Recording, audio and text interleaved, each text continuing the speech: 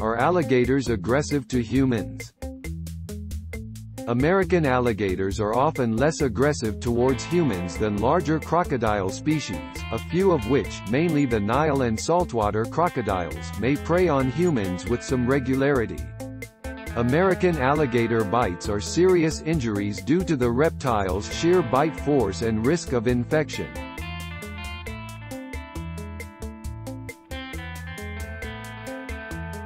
Thanks for watching. Please subscribe.